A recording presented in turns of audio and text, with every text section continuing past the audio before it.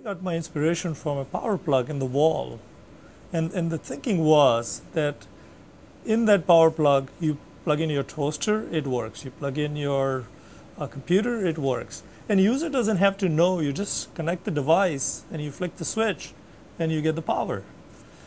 When we thought about USB, we said, let's make a ubiquitous plug on a computer such that any device that gets plugged in just starts working. You as a user don't have to know what kind of port it is. You don't have to know the speeds and feeds. You don't have to um, know, uh, go get the disks to make it run. So we wanted something that you just plug in and start using. And that's when USB came about. These days, every year, there are more than 2 billion devices that are being shipped. I have about eight patents on USB, um, and I have 33 patents in total in a lot of different areas of computing architecture. Um, and I'm working on a number of new things and will file more patents. These days I'm working on uh, transforming the PC experiences.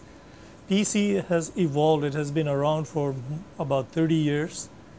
Um, every so often it goes through the transformation. Initially we went from desktop to mobile computing. Once we had mobile, we made it wireless.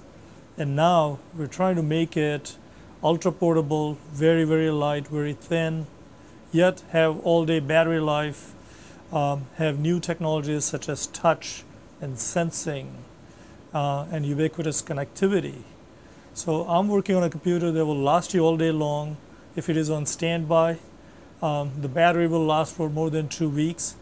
Um, and you will have all the performance that you always had in a personal computer. So we are in midst of reinventing the PC once again.